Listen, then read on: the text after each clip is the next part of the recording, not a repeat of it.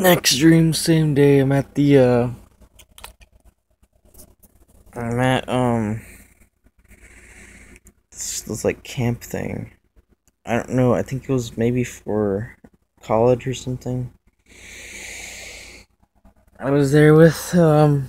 I was there with David, Eric, Jacob, a few other people, and uh. I remember getting there on like a bus and showing up to this little like camp, this little like uh uh canopy like area with like lawn chairs. That's where we first started off. Then we went like two blocks over, and it was our it was our place to stay. We played Smash some days, and uh, I think it was like one night or something we did that, and then well, I don't know, it was insane, and then something happened, and after like a day of being there, we were getting kicked out, so we had to go to, we got in trouble by like some leader or something, so we went to um, we went to we went back to the canopy where we started off, where we got dropped off by a bus, and the leader was saying, "Yeah, we uh." You guys are gonna leave, and I was like, well, I'm gonna go back and pack all my stuff. So I want to pack it in the morning. It's like okay, so I went back. I didn't pack anything. I went back and ended up in some. uh I think it was it was like a U it was like the U, a UTSA like college like hallway sort of thing. Oh no, on, on my way back actually.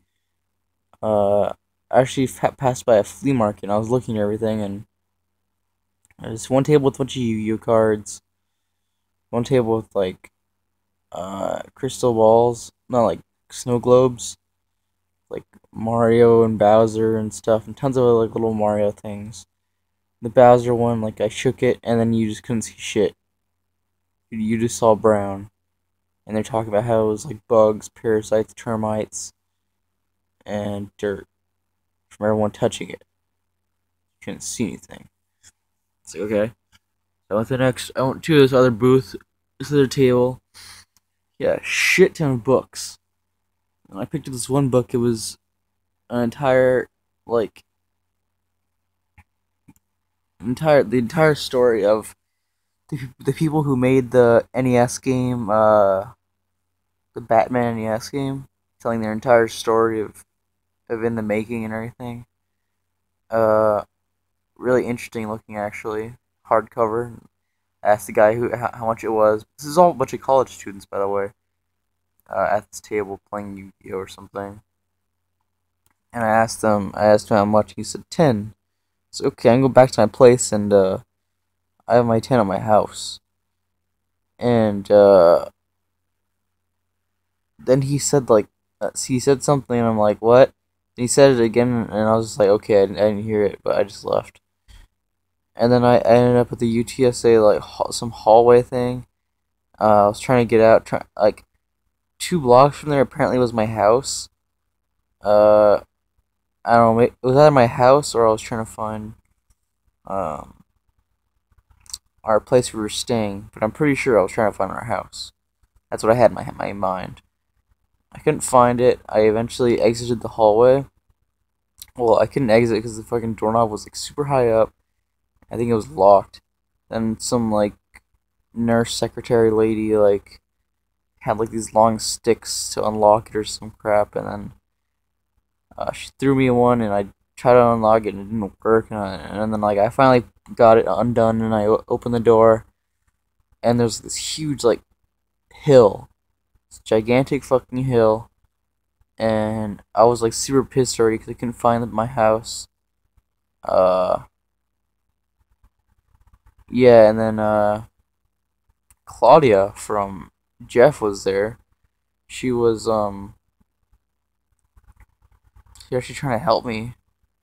Uh and then like I was climbing the hill and I like on the hill at that point everything fucking changed. All around me was like it was like an it Egyptian esque sort of like vacation areas, like tons of pools and people dancing and shit to the left of me, and then a bunch of people on the hill studying, just sitting down.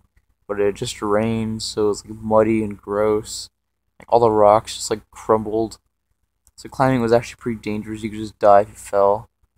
I was telling Claudia, I'm like, I can't, I can't climb it. I'm, I'm gonna die if I go all the way up there. She's like, no, no, no, come on, come on. I'm like, no, I, I, I'm gonna fucking fall. I can't do that. So we just kept going along the hill, and then eventually got to the bottom or something, and then uh, we, uh, I saw like an exit that looked familiar that I thought would take me out of there. Uh, by the way, there's like walls everywhere, walls covering all of it, sort of thing. And then, so then I, uh, I didn't want to get wet, but she had no problem with getting wet, so I wet my shoes, and that was it. And then uh, I was jumping over some like little like, pool things, some fountain crap, and then uh, this like, huge pool was there, and I just latched onto like the top of a palm tree, and like I, I pretty much went all the way over the pool most of the, most of the way, grabbed onto some other tree and got back out. and then, uh, what was it? Uh, and then there was like this huge pool. Like I couldn't really not get wet, so I was fucking fucked. Jumped in the pool.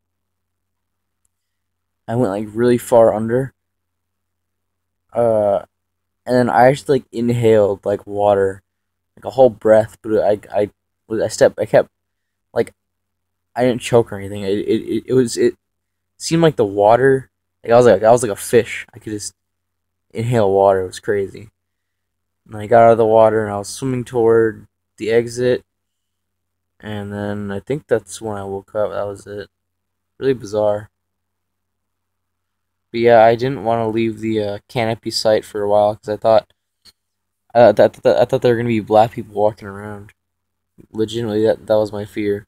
It's funny because it was like kind of like a ghetto area, and once it turned into like the UTSA part of the dream, everything just fucking changed.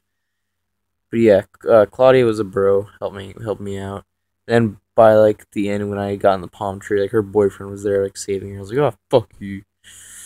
That's pretty much it.